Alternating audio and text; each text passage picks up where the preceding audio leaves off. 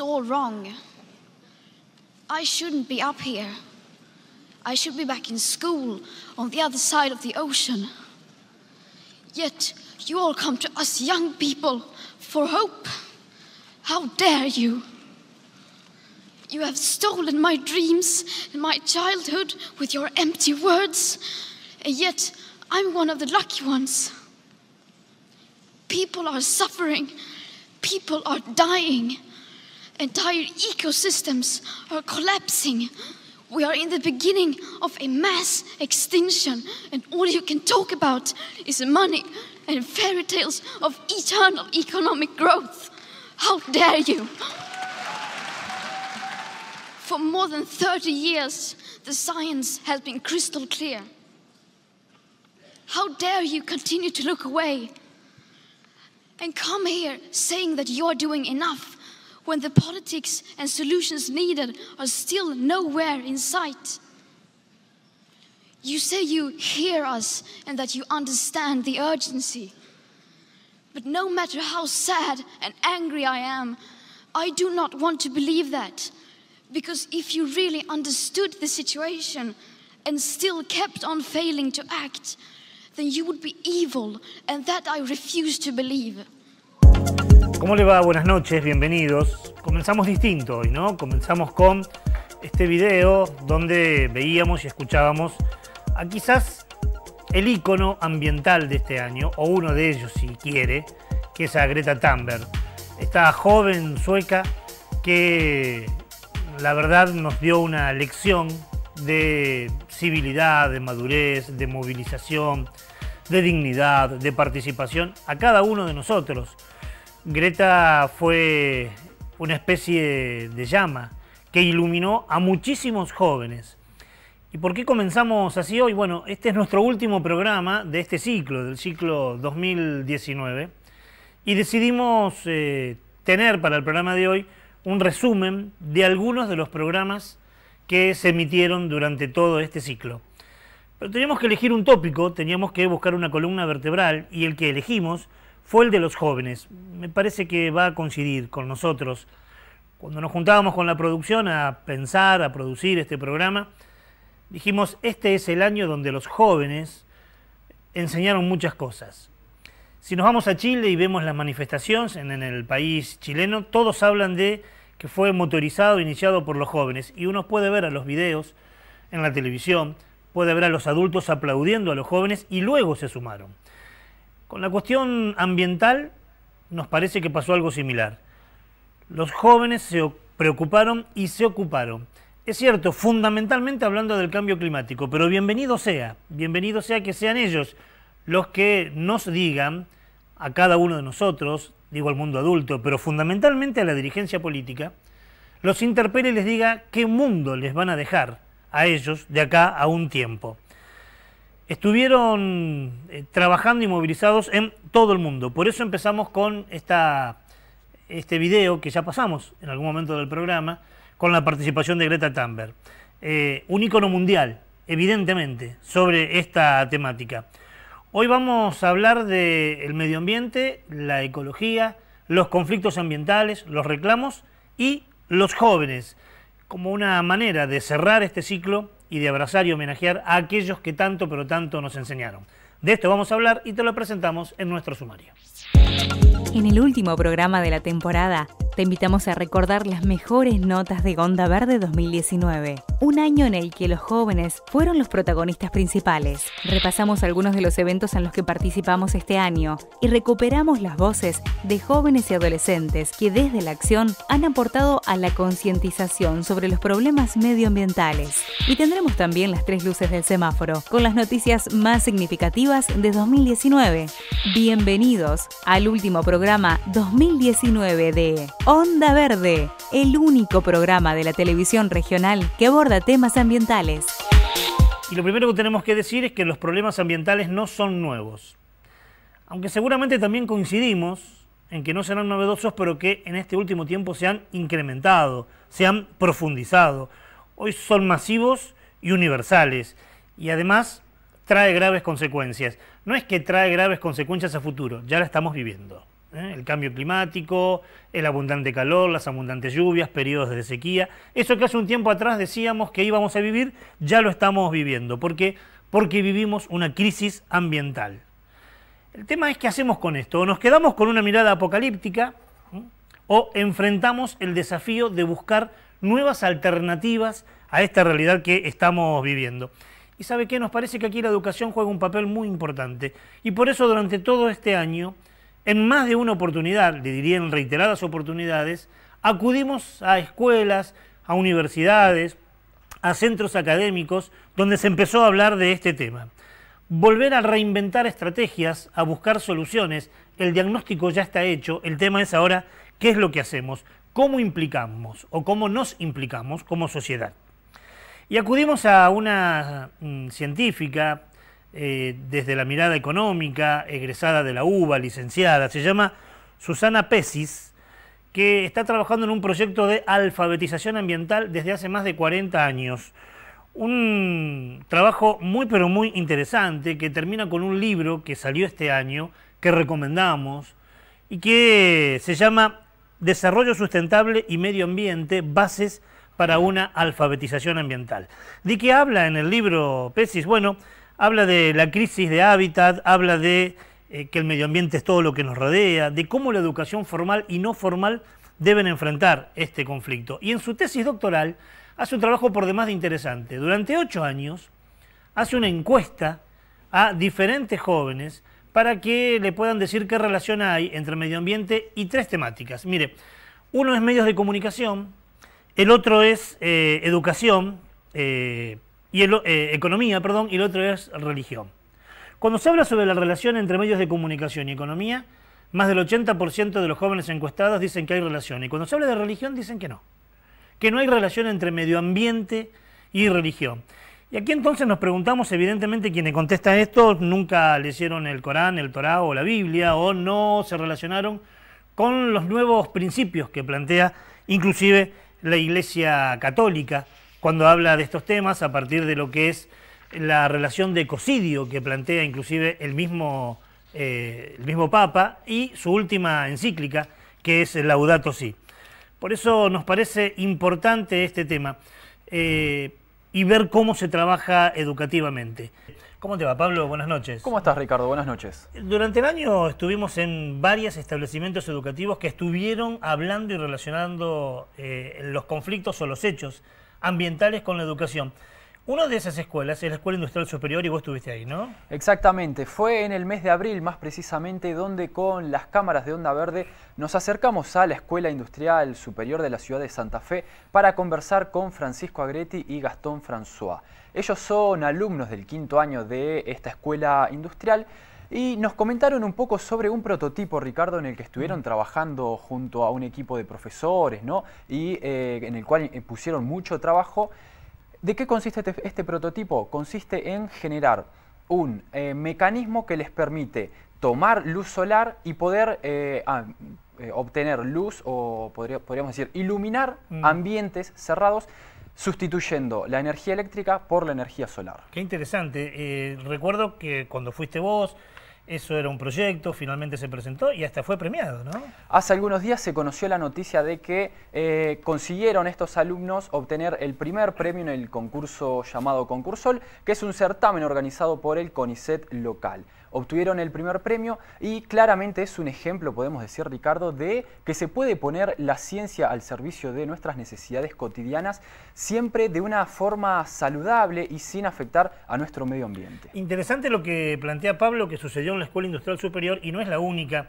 Eh, en este año estuvimos en la Escuela Juan de Garay, en la ciudad de Santo Tomé, hablando con los chicos de la escuela primaria y los docentes en un proyecto interesantísimo sobre eh, cambio climático, y estuvimos acompañando a los chicos de la escuela Grierson, una escuela también que estuvo en la legislatura provincial, en ese proyecto que se llama Diputados por un Día, y que cuando fueron podían presentar cualquier proyecto y el proyecto que eligieron fue el de mm, normatizar, regular las fumigaciones en Santa Fe. Decidimos tomar estas tres experiencias, escuela industrial, la Escuela Juan de Garay de Santo Tomé y la Escuela Grierson para mostrar cómo los jóvenes, desde la educación y con la comunidad educativa, también trabajan sobre el tema. La legislatura de la provincia de Santa Fe sanciona con fuerza de ley. Artículo primero. Establece prohibir las fumigaciones con agrotóxico a menos de, de un radio de mil metros terrestres y tres mil metros aéreos en cercanías con las escuelas rurales. El uso extendido de estos productos ha causado problemas en la salud y muertes en muchas partes del mundo, por lo general como consecuencia de la exposición laboral y la intoxicación accidental o deliberada. ¿Cuánto vale una vida? ¿Y cuánto cotiza una muerte en el mercado noticioso? En este lugar y en este contexto queremos recordar a Fabián Tomás.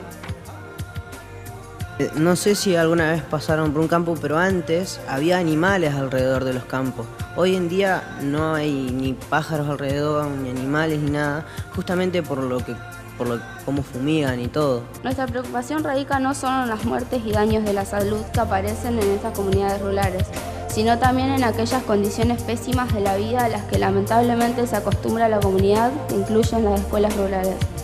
El negocio indiscriminado de la soja y los agrotóxicos se está cobrando la vida de miles de personas. Como representantes del pueblo no podemos permitir que esta situación se extienda el tiempo.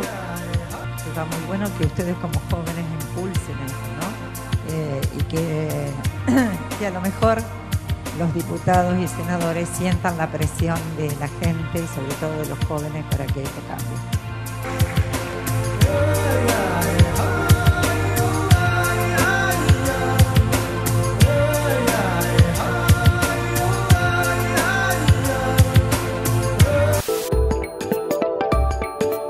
¿Sobre qué están haciendo el proyecto? Bueno, hicimos un proyecto también sobre las bombas de semilla, que eso eh, era para una forma más fácil de plantar los árboles o semillas o plantas mm, para cuidar el medio ambiente, para hacerlo mejor.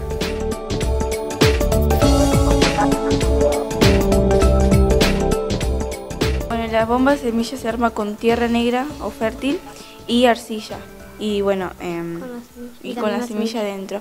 Eso también sirve porque la señora nos contaba y el video que vimos que era para que cuando vos la tirabas era para que los pájaros no se comieran la semilla y Gracias la arcilla. Claro. Y cuando vos la tirás, en la primera lluvia ya se deshace y, y se mezcla con la tierra.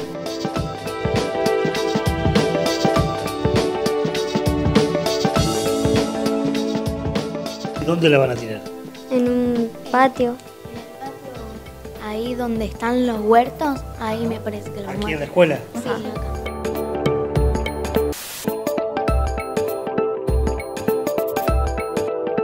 La idea venía hace bastante tiempo atrás, digamos, porque uno no, lo percibe, pero en realidad en, el aula, cuando uno está dando clases, hay un montón de luces, de luces prendidas. Hay aproximadamente 40 tubos fluorescentes, algo muy, muy llamativo. Entonces dijimos, por ejemplo, hoy en día está un día totalmente soleado y hay 40 tubos fluorescentes prendidos. Era algo raro, porque cuando está nublado también hay 40. Entonces dijimos, bueno, podríamos idear alguna manera de que entre un poco de la luz de afuera hacia el interior del lugar. Nosotros decidimos hacer un sistema de iluminación natural sin los inconvenientes de otras alternativas, como por ejemplo lumiductos u otras cosas que transmiten el calor o, cosas e, o incluyen un gasto muy grande de construcción. Entonces optamos por una alternativa que es relativamente barata de instalar y de hacer, que permite iluminar con luz natural un interior cerrado o eh, interiores que no tengan acceso a ventanas o cosas por el estilo. Bueno, ser el ganador del concurso fue algo bastante alegre, digamos. Veníamos trabajando mucho tiempo, a lo último veníamos medio frustrados porque no salían muy bien las cosas, pero a lo último pudimos solucionar todo al último momento.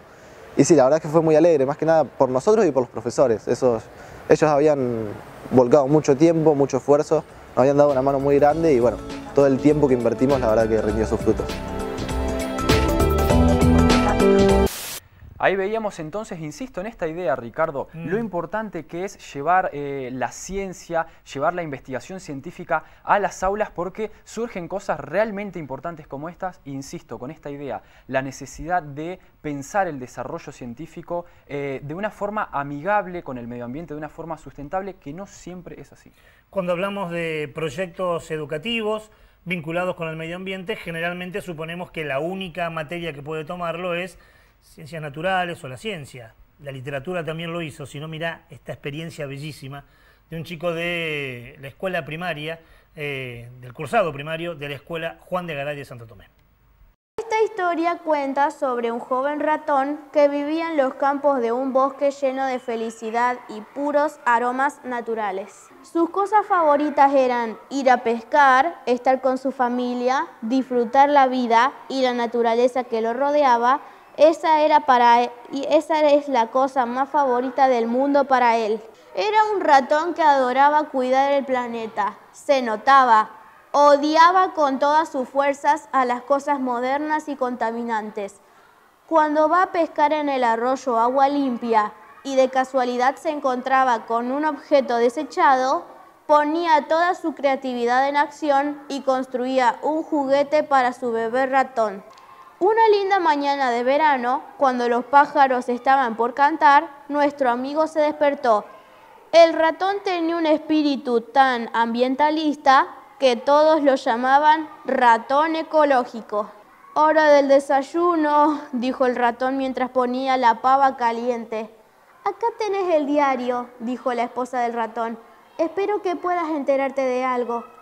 Sin duda, había una noticia muy horrible disponible en primera plana. ¡Vengan! gritó el ratón ecológico a su esposa que estaba levantando al hijo. ¡Qué pacha, papá! exclamó el hijo. Contanos, querido, por favor, dijo la ratoncita. Decinos y el ratón ecológico empezó a leer. Noticias de última hora. Un generoso hombre llamado Luis Al Robert, apodado El Fumador, está abriendo sus puertas a su nueva corporación, Porquería. La fábrica Porquería está ubicada en un ambiente forestal de nombre Bosque Árboles Felices. Estoy orgulloso, dice el fumador Espero que yo y mis trabajadores cambiemos el mundo con nuestros productos. Y eso, mis amigos, fue la noticia de, hoy. Hasta mañana. No lo terminé y ah, encima, pero no se preocupe, cuando logre terminarlo y lo lleve a la imprenta, yo seré, eh, usted será el primero que lo vea. El ratón ecológico se llama el cuento que nos presentaba este chico que decidió escribirlo, que cuando fuimos estaba en elaboración y que además, pasadas las semanas, nos lo envió por este Facebook y que lo tenemos ahí como un regalo que nos hizo este chico. Beso muy grande a toda la comunidad educativa de la Escuela Juan de Garay, también de la Escuela Grierson y de la Escuela Industrial por eh, abrirnos las puertas y dejarnos entrar en, sus prácticas. ¿eh? Gracias, Pablo. No hay por qué, Ricardo. Agradezco a Pablo porque el encuentro de Raúl. ¿Cómo, te va, Raúl? ¿Cómo anda? ¿Primera luz del semáforo? Primera y última luz roja del año. Claro, pero decidimos eh, no tener una luz roja de la semana, Exacto. sino buscar las tres luces del semáforo. Tuviste que entrar en el, en el arcón, en el arcón de todo el 2019 y buscar alguna de las luces y elegiste las que te parecieron más representativas. Así es. Eh, la más importante tiene que ver con Vaca Muerta. Sin duda, lo peor que pasó eh, desde lo ambiental, creo que coincidimos con todo el equipo de Onda Verde, es lo que pasó en Brasil con el incendio del Amazonas. Pero no queríamos olvidar lo que pasa en nuestro país con Vaca Muerta. Allá por el mes de septiembre hablábamos de un incidente que se había producido, una fuga de gas, concretamente en esta planta de vaca muerta, en el sur de nuestro país. Pero desde el 2015 son más de 4.000 los incidentes ambientales. Mm. Allá por el 2013 se inauguraba Vaca Muerta y se decía que no iba a tener nada de impacto ambiental. Bueno, desde ahí hasta este momento llevan 4.000 incidentes ambientales. Muchos, ¿no? Muchísimos. Mm. Y lo decía Raúl, sin lugar a dudas, eh, si uno entra en el, en el concierto internacional, la quema del Amazonas fue el hecho eh, relevante. Pero está bueno que Raúl haya buscado eh, un tema nuestro como Vaca Muerta, porque es un tema muy tapado. Exacto, y me parece muy importante, muy relevante porque son fugas de gas, son derrames de petróleo, son trabajadores que sufren las consecuencias de estar ahí constantemente, el mm. día a día, y no sé, como vos decís, no se ve mucho eso en, los distintos medios. ¿no? Esta es la luz del año, la luz roja del año que eligió Raúl para nuestro anuario de Onda Verde.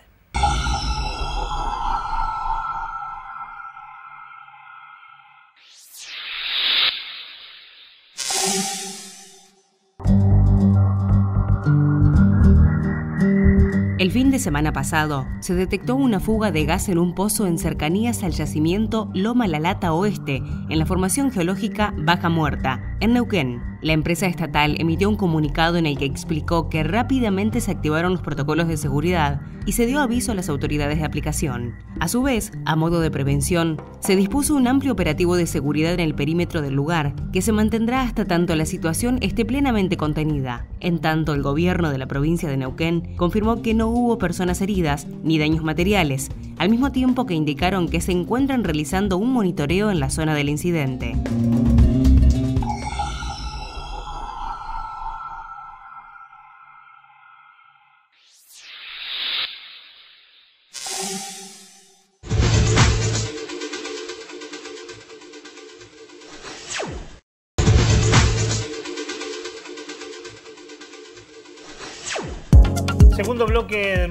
Último programa del ciclo 2019. Estamos revisando algunas de las producciones de este año y elegimos un tópico. El tópico es los jóvenes, ¿eh? la juventud, eh, la educación, los alumnos, los estudiantes eh, y esa franja etaria que tanto ha trabajado en el 2019 por los conflictos ambientales. Y seguramente uno de ellos tiene que ver cuando hicimos un par de kilómetros, nos fuimos a San José provincia de Entre Ríos, nos fuimos con nuestras cámaras y acompañamos un nuevo campamento sanitario llevado a cabo por la Cátedra de Salud Socioambiental de la Facultad de Ciencias Médicas de la Universidad Nacional de Rosario. Así es, Ricardo, allí en San José, cerquita, nomás pegadito a la localidad de Colón, en la provincia de Entre Ríos, se llevó a cabo este campamento sanitario en el mes de marzo, que hay que decir que es una experiencia realmente increíble.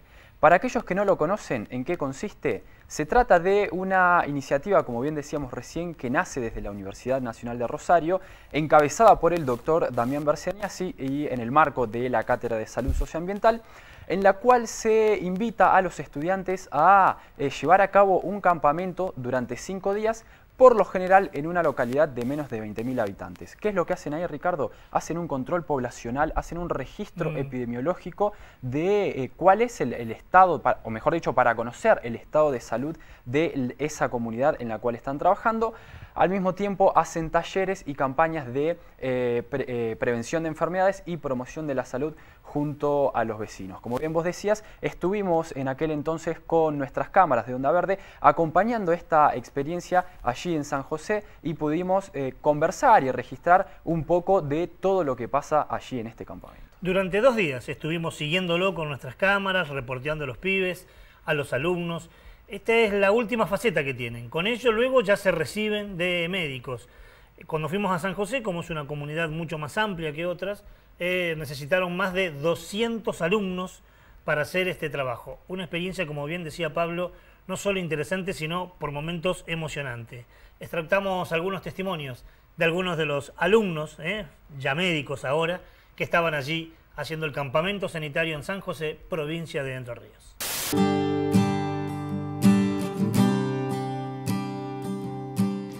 La idea del campamento es poder los primeros dos días encuestar a la población, todos tenemos barrios designados con distintas manzanas y tratar de encuestar a la mayor cantidad de población posible para poder recabar información sobre su estado de salud, cómo es la vivienda, cómo es el barrio, qué quejas o qué cosas buenas tienen ellos para decir sobre el sistema de salud, principalmente de la parte pública de acá de San José. Eh, son más que nada preguntas socioambientales y de salud.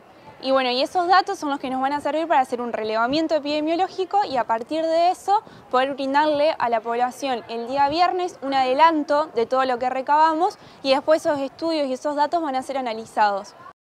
Mientras estamos haciendo estas actividades, algunos compañeros están cargando los datos. Entonces, toda esa información se procesa y el viernes queremos darles una devolución eh, previa a lo que es el informe final. Nosotros nos tocó en esta escuela que lo que hacemos es venir un grupo de compañeros a hacer un examen de niños sanos, se llama. Y a partir de eso ver las condiciones de salud que se encuentra el general de los chicos. Con el control de salud y también con todas las encuestas que se realizaron ayer, que es donde está verdaderamente la información de por ahí lo que es, eh, por ejemplo, si hay campos, si hay fumigaciones alrededor, si hay agroquímicos, eh, si hay fábricas, todo lo que sea, por ejemplo, contaminantes que pueden generar una afección en, en lo que es la salud de los chicos, poder juntar tanto los datos de hoy como los datos que recabamos ayer y el lunes, para ver si esos datos verdaderamente están afectando la salud de los niños y si se ve reflejado en la salud de ellos, digamos. Para nosotros fue una invitación re linda porque viene eh, siendo de hace dos años ya la invitación. El tema es que por ahí por cantidad de alumnos y por cantidad de, alumnos nuestros y de habitantes en el pueblo no llegábamos a cubrir porque San José, digamos, y, los alrededores son muchos los habitantes por ahí para la cantidad que éramos nosotros. Y bueno, por suerte ahora, después de dos años, el grupo de, nuestra corte, que es la 44, eh, somos 200 eh, estudiantes que por ahí sí pudimos cubrir, digamos, toda la población, porque tampoco podíamos venir con 100 personas y hacer la mitad de San José. Así que bueno, después de dos años valió la pena y la verdad que la convocatoria fue re linda porque es una oportunidad para acercarnos a la población y ver verdaderamente qué condiciones viven y, cómo están, digamos.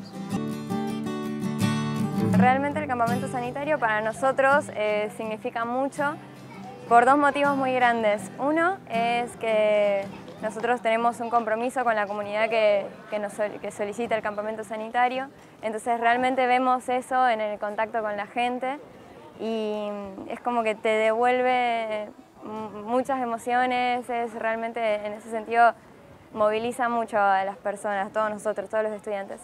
Y por otro lado también es, un cierre nuestro, es nuestra etapa final en toda la carrera que venimos desde muchos años, así que bueno, también estamos muy muy emotivos por eso.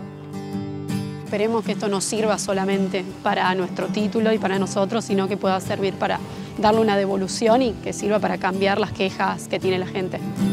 Imagínense si nosotros tenemos la información y nunca la, compartimos con la gente, ¿qué sentido puede tener eh, que nosotros nos estemos formando? La idea nuestra es generar salud y la salud se genera entre todos. Fue el último campamento que al menos pudo hacer eh, Damián Berseñaz y su gente, su equipo. Eh, hay algunos este, resquemores llevados a cabo por la Universidad Nacional de Rosario que puso algunas trabas para que este año se puedan hacer, ¿no? Totalmente, así todos se llevaron a cabo desde sus comienzos ya hace muchos años más de 40 campamentos. Esto hay que resaltarlo y también hay que resaltar la importancia que tienen estos campamentos al momento justamente de detectar enfermedades que muchas veces por intereses económicos no se les da la atención que, ameritan. Quizás venga por ese lado, mm. pero por supuesto era, fue uno de los grandes momentos de este año que queríamos volver a compartir con todos ustedes que están del otro lado y deseamos fervientemente que se sigan realizando. Los resultados que han planteado el campamento durante todos estos años hablan de que el modelo productivo, sea cual fuera, influye en la población. Fundamentalmente en nuestra zona, digo, se han hecho en Entre Ríos, en Buenos Aires, en la provincia de Santa Fe, el mayor problema es el de las fumigaciones. Y entonces cuando una universidad pública dice, mire, por las fumigaciones, por lo que sucede, hay 400% más de cáncer, hay hipotiroidismo, hay infertilidad, bueno, eso trae seguramente pulseadas y ha hecho que hoy por hoy las autoridades de la Facultad de Ciencias Médicas de la UNR no estén respaldando este trabajo, pero ha sido respaldado inclusive a nivel internacional. ¿eh?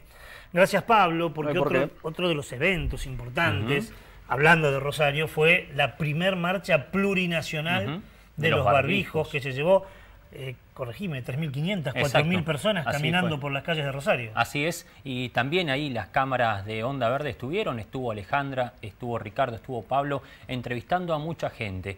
3.500 personas decíamos que caminaron desde la Plaza San Martín hasta el Monumento a la Bandera. Más de 35 organizaciones que coincidieron el 5 de junio justamente el Día del Medio Ambiente para gritar muy fuerte lo que muchos quieren tapar y el barbijo como un símbolo, un símbolo que tiene que ver con una defensa propia a la salud y una expresión de algo está pasando y muchos no se están dando cuenta. Así que extrajimos también varios segmentos de jóvenes, porque ese es el eje de nuestro último programa, el joven los jóvenes y el medio ambiente, y hay muchos jóvenes que participaron de esta marcha. Por ejemplo, Isidro, de una organización que tiene que ver con el cuidado del medio ambiente en la ciudad de La Plata, eh, Clarisa, que es de Casilda pero vive en Córdoba, eh, ambas ciudades con muchos problemas, y también la gente de Villa Constitución sin venenos, exponentes mm. todos de una lucha que llevan los vecinos, organizaciones, en contra de aquellos gigantes que muchas veces están... Eh, tapando ¿no? lo, que, lo que pasa mm. y están atentando contra el medio ambiente. Lo dijo Raúl y lo dijo muy bien y muy completo, así que vemos parte de todas las entrevistas que hicimos. Esta es la que seleccionamos para este programa de hoy. Estamos en camino al algo histórico también para nuestra ciudad y para nuestra provincia que tiene que ver con la consulta popular. Y ese va a ser una herramienta no solamente para los vecinos y las vecinas de Villa Constitución de poder decidir qué tipo de empresa se instala o no en nuestra ciudad, sino que creemos que va a ser una herramienta fundamental para todos los que vienen luchando, porque esa es la herramienta con una salida para el pueblo, con una decisión de los vecinos y las vecinas. Yo soy Isidro, vengo de La Plata, somos del Movimiento Agroecológico La Plata, venimos a sumarnos a este reclamo por un sistema de salud que realmente no nos identifica. Estamos creyendo en que la semilla es libre, que es algo que es un patrimonio de la humanidad y no podemos venderla. Eh, hace mil años que se cultiva y se cuida la semilla criolla y no pueden venir un puñado de empresas a patentarla y a decidir sobre nuestros alimentos que son nuestra salud. Así que venimos de La Plata a sumarnos. En La Plata también estuvimos haciendo una acción en la Plaza Morena en el centro, junto con distintos colectivos de la ciudad. Y vamos a decir, paren de fumigarnos, soberanía alimentaria ya. Bueno, en Casilla tenemos las mismas problemáticas en cuanto a los agrotóxicos. Eh, y hay casos de cáncer un montón. Eh, bueno, estamos luchando digamos, por eso, eh, resistiendo en las cátedras de soberanía alimentaria. Hay un active zarpado por allá. Y bueno, que están muchos presidentes por aquí. Y apoyando también lo que pasa en Villa Constitución, que es por aquí cerca, digamos. Y en Córdoba también ya son muchas las problemáticas que se presentan desde el tramo que se desmontó. Hay una reserva de uranio en el medio, en la altura de Vialet Macé, con las prácticas que se hacen, digamos, para desmontar y para romper la montaña, para hacer la autovía por ahí. Podría exponer a toda la, población a radiación y sería muy tremendo, además de las inundaciones que provoca el desmonte y, todas las prácticas que se están llevando a cabo para este proyecto.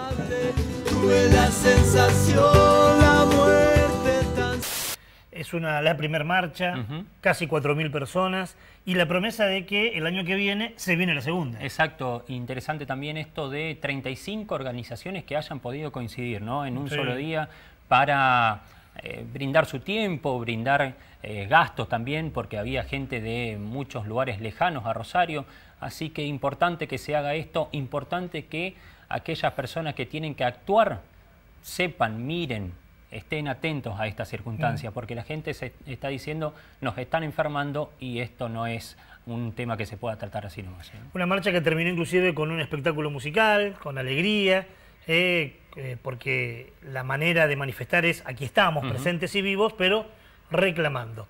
Ya que estamos en este sector del estudio, aprovecho para presentar la segunda luz del semáforo. Luz amarilla siempre es complicado porque está ahí está en a medio, mitad de camino y más complicado seleccionar una de todo el año, ¿no? En este caso siempre dijimos, siempre dijimos que existen muchos, y nosotros en la Agenda Verde a veces lo decimos, congresos, convenciones, seminarios. El problema es qué pasa después. Exacto. Justamente hoy trajimos a modo de ejemplo nomás de los que fueron las más de cientos, miles de reuniones que hubo a favor del cambio climático, a, favor de eh, sacar algunas circunstancias que suceden en lugares cercanos como puede ser la ciudad de Santa Fe, la ciudad de Santo Tomé.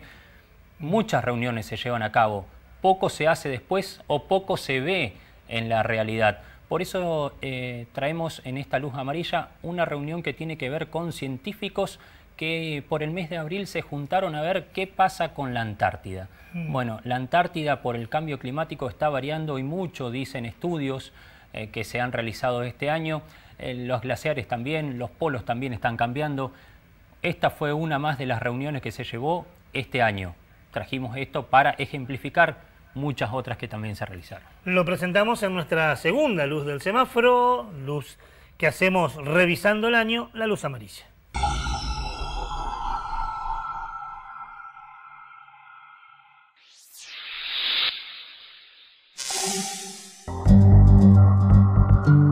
De especialistas en usuaria se produjo esta semana en el marco del Comité Científico Internacional para la Investigación en la Antártida, El encuentro contó con la presencia de académicos de las áreas de humanidades y ciencias sociales que intercambiaron experiencias y el resultado de investigaciones sobre cuestiones antárticas. En esta oportunidad hubo ponencias sobre historia, literatura, turismo, política y derecho internacional. Sus organizadores afirmaron que el evento sirve para poner en perspectiva el rol de Ushuaia en relación a la Antártida. Esto también posibilitó la articulación entre instituciones nacionales y de Tierra del Fuego relacionadas al continente blanco.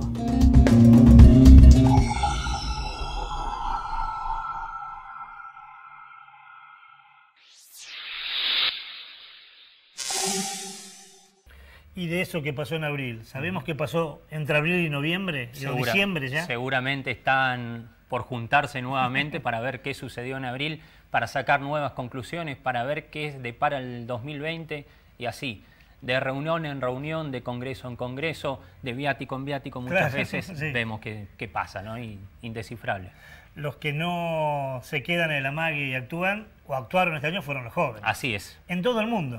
En Santa Fe también. También. Por eso voy al encuentro de Martín. ¿Cómo te va, Martín? ¿Cómo estás, Ricardo? Buenas noches. Bueno, los jóvenes en Santa Fe también trabajaron. Hubo estudiantes secundarios, universitarios, que dijeron, no vamos a ir a un congreso, no vamos a ir a un simposio Vamos a ir a la costanera y la vamos a limpiar. Así es, Ricardo. Es muy importante que destaquemos este rol que han tenido los jóvenes, que desde las distintas agrupaciones estudiantiles han sido quienes convocaron a realizar distintas acciones para resolver cuestiones, para resolver problemáticas que ellos consideran necesarias resolver. Lo que vamos a ver ahora es una acción concreta que se realizó para cuidar uno de los espacios que tenemos todos los y las santafesinas. Nuestra costanera, una acción que se realizó reiteradas veces durante todo este año 2019. Y lo queremos volver a mostrar, lo queremos eh, resaltar, así que demostramos de esas entrevistas que hacíamos. Hoy estamos acá haciendo una jornada de concientización y limpieza de, la laguna, que es una instancia que venimos organizando ya hace un par de veces, esta es la tercera vez, si no me equivoco, em, que tiene como fin básicamente poder eh, convocar a estudiantes de la universidad principalmente, pero se fueron sumando estudiantes de, también ahora de escuelas secundarias y, del ICEF, eh, y estamos acá básicamente juntando o o generando conciencia a partir de, que juntamos basura para, ver lo que, lo que generamos como, como humanos muchas veces si no nos damos cuenta eh, y después hacemos todo el proceso de reciclaje, de separación de los residuos y de reciclaje eh, de todos los residuos que juntamos, que hasta esta altura ya van siendo en las tres veces más de media tonelada, así que hablamos de una cantidad muy, muy importante. Vamos a pensar, bueno, ¿qué hacemos nosotros como estudiantes y como jóvenes? ¿Cómo podemos transformar esto y cómo podemos trasladar lo que queremos cambiar a nuestros hábitos cotidianos y a la universidad.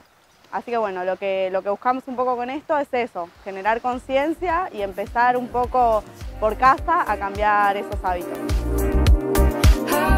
Motorizar e impulsar eh, el hecho de poder ver eh, que lo que por ahí se dice o vemos en un meme en Instagram o, o vemos en una, en una página web o escuchamos en, en, alguna, en alguna radio o en, alguna, o en la televisión, bueno, en la realidad es mucho más concreto y es muy real eh, y nosotros como, como, personas podemos hacer mucho para, para eso.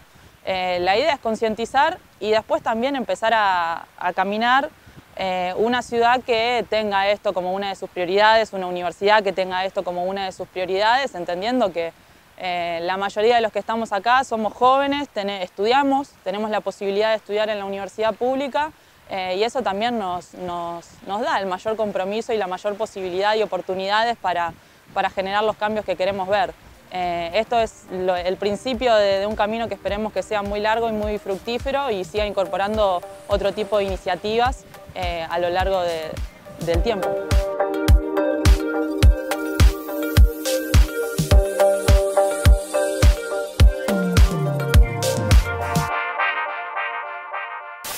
Habrá que decir que es una experiencia que se llevó a cabo el año pasado también en la costa santafesina.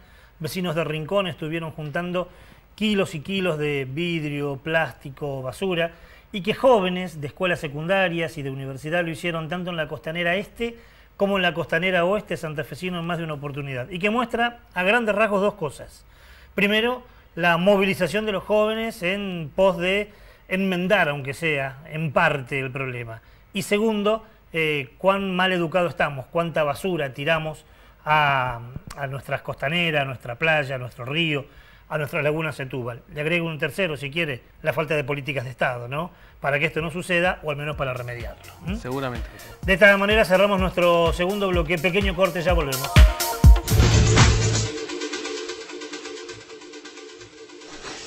SADOP, el gremio de los docentes particulares, por una educación privada que respete la carrera docente. Acércate al SADOP, 4 de enero 2990. ADUL, Asociación Docentes de la Universidad Nacional del Litoral. En la lucha por salarios dignos, jubilación móvil y una universidad democrática, pluralista, científica y al servicio del pueblo. ADUL, Pasaje Martínez, 2683.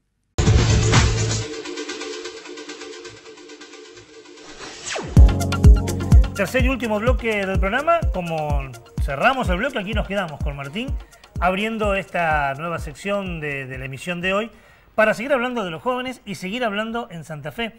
Hubo actividades, así como esa concreta de limpieza, hubo otras que tienen que ver con la manifestación, con la movilización, ¿no? Seguramente, Ricardo, se realizó en septiembre una marcha mundial que se realizó en Santa Fe, arrancó en el Puente Colgante y sobre Boulevard Galvez se extendió esta marcha que eh, agrupaba a distintas organizaciones. Entre ellas eh, estaban los chicos y las chicas del Free for Future Santa Fe. Pero además de destacar eh, la charla, la entrevista que, que, tuvimos con los chicos y las chicas, también es importante que destaquemos eh, el rol que han tenido las distintas agrupaciones que se han sumado a una marcha que se realizó en todo el mundo, uh -huh. en distintos países del mundo, y que como dijimos se sumaron miles y miles de personas y muchísimas agrupaciones a lo largo y a lo ancho de todo el mundo. Es muy interesante porque por ahí veíamos en Ámsterdam, en Nueva York, en París, en Santa Fe también. Allí estuvimos, los acompañamos, lo volvemos a ver. Fridays for Future es un movimiento medioambiental que lucha por los derechos justamente del medio ambiente. Lucha por el conocimiento de los recursos medioambientales que tenemos disponibles y que en un futuro pueden ser que se vayan a acabar.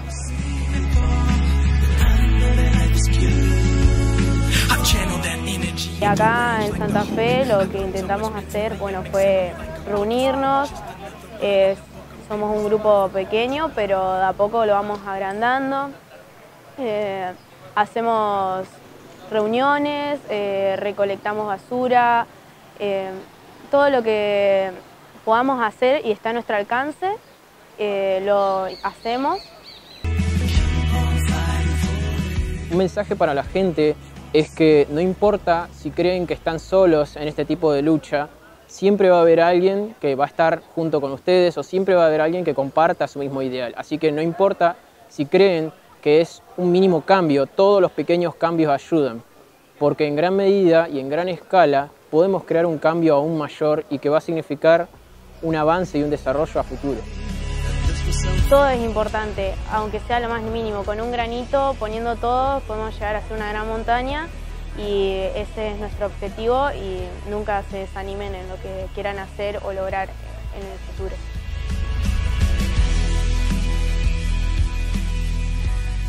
Eh, hola, soy de Fridays for Future. La idea que se nos ocurrió a nosotros, va en realidad a Greta, eh, estamos convocando acá para concientizar sobre el cambio climático, cómo nos afecta. Queremos un futuro, somos jóvenes. Eh, estaría bueno también que todas las personas de todas las edades se interesen y estuvieran acá participando o si no pueden estar acá, participen desde lo individual, desde su casa, eh, separando los residuos, tratando de reciclar lo más posible, consumiendo, consumiendo lo necesario. Esperemos que nos acompañen en esta lucha. Yo soy Fernanda, somos de la red ecosocialista y estamos hoy acá en Santa Fe junto a un montón de otras organizaciones ambientales, organizaciones estudiantiles y sociales, que hoy vinimos a hacernos parte en Santa Fe, nuestra ciudad, de esta jornada a nivel mundial, que hay casi 6.000 protestas en este momento, eh, donde se está, digamos, cuestionando todo este sistema eh, que nosotros le tiene nombre, que es el capitalismo, que hoy está depredando y contaminando todo nuestro eh, planeta y que justamente el efecto que es el cambio climático, el, el, incendio de Amazonía, tiene nombre, digamos, de responsabilidades que hoy, por ejemplo, en Brasil es Bolsonaro, en nuestro país Macri y los gobiernos anteriores siempre han eh, permitido que vengan multinacionales como Monsanto, bueno, ahora en nuestra provincia la multinacional Nitron, que mucho no se conoce, pero en Villa Constitución hoy el pueblo está eh, movilizándose y pidiendo que por favor se vaya esa empresa porque es un depósito de fertilizantes que está contaminando todo el pueblo. Eh, creemos que el momento y el cambio tiene que ser ahora, como nuestro planeta se extingue y nuestro tiempo también, así que eso es un poco lo central de hoy.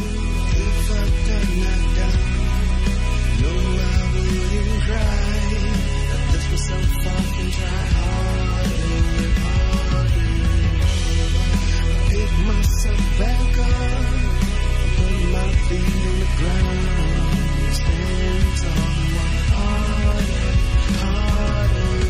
A partir del fenómeno que generó esta chica, Greta Thunberg, se crearon distintas miles de organizaciones juveniles que cuidan el cambio climático en todo el mundo. Una de esas organizaciones son los chicos y las chicas del Free for Future Santa Fe, que se juntan todos los viernes en la plazoleta que está enfrente de la, del Teatro Municipal de Santa Fe y nos dejaban algunas reflexiones, nos contaban algunas reflexiones y algunos consejos a las personas para que entre todos los santafesinos y las santafesinas cuidemos nuestro medio ambiente, nuestra única casa. Yo que aquí también pasan cosas, se dice, no, en Santo Tomé y en Santa Fe no pasan nada, claro que pasan, tenemos que enterarnos, tenemos que participar y los jóvenes nos están llevando una cabeza de ventaja y nos están enseñando. Gracias Martín, tengo que presentar la última luz verde de este ciclo. nostalgia, ¿Mm? ¿Mm? ¿Sí? ¿Le da mucha nostalgia? ¿A usted no? También. Ah, pensé Pero volvemos el año que viene, le dije. Eh, no, sabe, no arreglé contrato todavía. bueno, última luz verde del año. Buena noticia. Hubo varias durante el año. Difícil encontrarlas. Hubo en todo el mundo, pero vos decidiste, vamos a buscar una de nuestro país. Exactamente, porque mientras buscaba en el archivo veía muchas luces verdes que tenían que ver con Finlandia, Noruega, países que están evolucionados en cuanto a lo que tiene que ver con la recolección de residuos. Es más, Suecia, en alguna luz eh, lo trajimos, que importaba basura mm, de otros países para el reciclaje. Eh, pero quise traer algo más local, algo de la provincia de Buenos Aires, donde se inauguró una escuela campesina eh, que tiene un fin muy, muy didáctico, enseñanza ¿no? sobre los valores, sobre lo que es la tierra también, una, una enseñanza de nivel secundario para aquellos campesinos de la provincia de Buenos Aires, sobre todo en la localidad de Jauregui y alrededores, una iniciativa que lucharon mucho para conseguir, una iniciativa que construirá nuevas, eh, nuevas cabezas, nuevas iniciativas, nuevas eh, educaciones, porque si no arrancamos desde esto que es la educación, me parece que construir se hace muy complicado. Interesante la elección de Raúl, es la última luz verde del semáforo del año y la compartimos.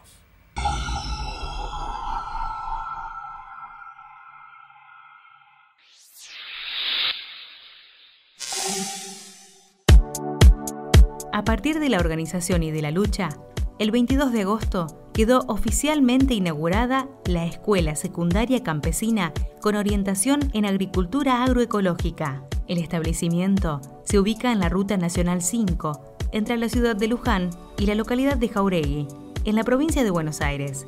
A partir de esta iniciativa, los campesinos comenzarán la secundaria con el objetivo de pensarse, analizar las realidades y su trabajo para reflexionar los docentes que se suman articularán cada una de las áreas con la lógica del pensamiento y trabajo campesino. El programa oficial lleva la impronta agroecológica y gracias al esfuerzo se pudo construir un cuerpo docente nombrado por el Estado, con gran capacidad. Nosotros no pudimos estudiar por el motivo de trabajo. O sea, cuando éramos chicos siempre las dificultades siempre del campesino es que no podemos este, tener, las, digamos, tener los mismos privilegios que algunas personas, ¿ve? Entonces nosotros como, como, nos lleva la línea de la pobreza, así que tenemos que trabajar y dejar el estudio. Entonces, como ahora se implementó desde la organización para poder este, eh, lograr ese, ese cometido para el campesino para que pueda estudiar, ¿ve? Entonces nosotros estudiamos y tenemos los horarios digamos, adecuados y, y tenemos la escuela dentro de acá del predio. Eso es lo que nos favorece mucho a nosotros para poder estudiar también. Lo que siempre nosotros luchamos es por el futuro de nuestros hijos y también por el futuro de nosotros. Si nosotros decimos que nuestro futuro está bien, el futuro de nuestros hijos va a estar bien también.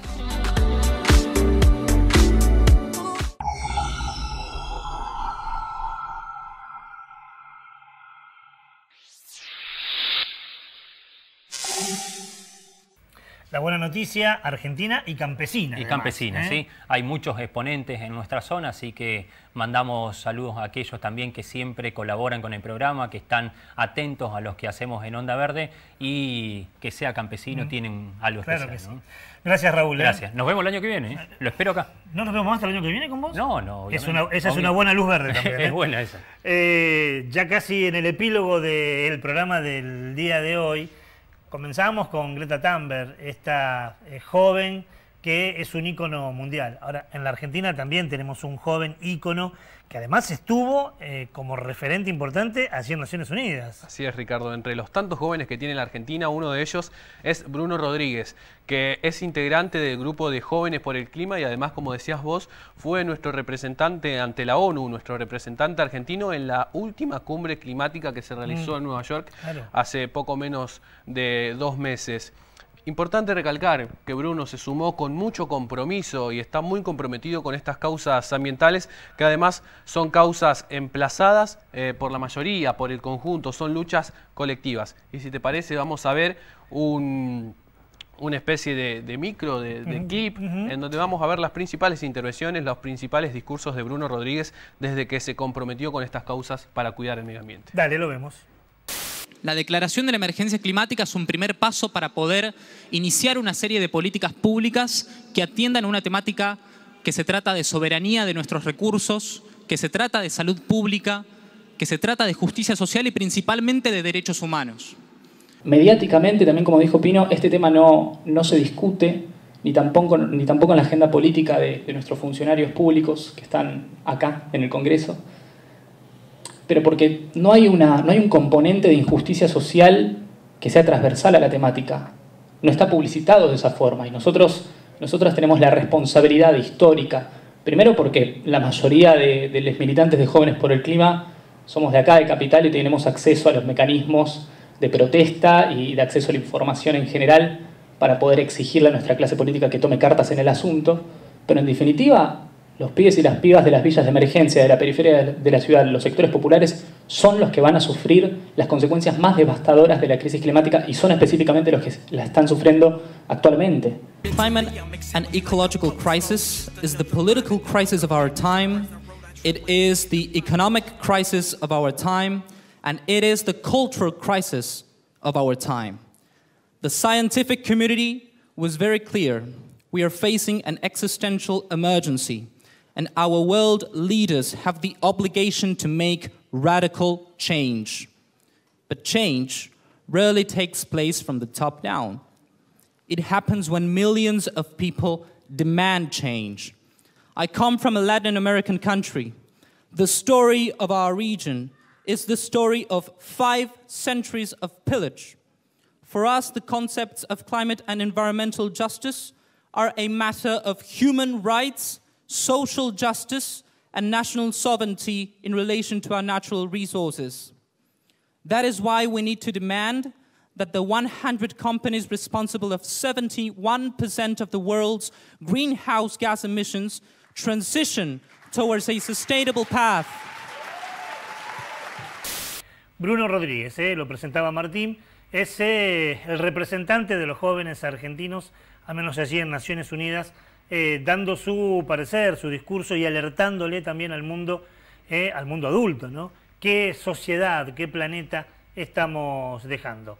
Ya casi nos estamos yendo y este año resucitamos una sección que ya teníamos en otras ediciones de Onda Verde, que son los recomendados culturales. Esas manifestaciones artísticas, culturales, que hombres y mujeres hacen y que están relacionados con el medio ambiente. Y quien estuvo durante todo el año buscando ese material es Yula y de esta manera estamos cerrando nuestro ciclo, ¿no? Así ¿Qué es. tenemos para hoy, Yula? Bueno, hoy para hoy traje una canción alegre para terminar el año, que es de Soledad Pastoruti, que se llama Tambores del Sur. En esta canción, en este video, podemos apreciar los distintos paisajes que nos regala nuestro sur argentino y también entender no solamente lo lindo de esos paisajes, la naturaleza, sino también entender que eso nos pertenece.